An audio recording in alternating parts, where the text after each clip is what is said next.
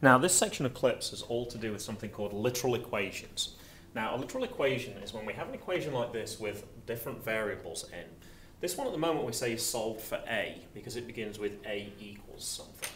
Now, sometimes what we're trying to find is not a, but it could be a different letter, say b.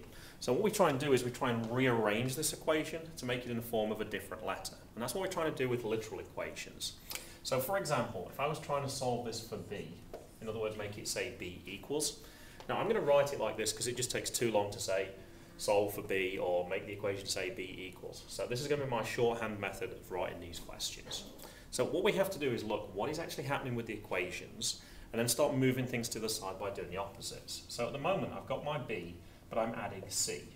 So I know I need to move the plus c to the other side. So using opposites, what we're going to do is instead of adding c, I'm going to subtract c from both sides. Now this has the effect of cancelling out here, that's why I do it, because c take away c is 0. And on this side, and this is what makes these questions slightly different, is a take away c. I can't actually work that out because these aren't like terms. All I can say is that it is a minus c. And now notice my equation does begin with b.